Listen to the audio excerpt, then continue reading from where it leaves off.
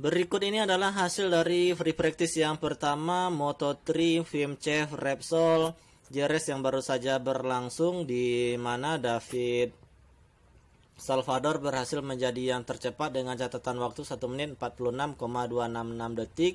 Dan pembalap dari Indonesia Mario Aji finish di urutan yang ke-10 terpaut hampir 1,019 detik dengan catatan waktu 1 menit 47,285 detik. Di urutan kedua ada Matsuyama, 3 ada Garcia, di urutan keempat ada Holgado dan di 5 ada Ortola, 6 ada Orgen dan di urutan ketujuh ada Bertolini, di 8 ada Kelso. Selanjutnya di urutan 14 ada Rueda, di 6 15 ada Ryu dan 16 ada Volpi.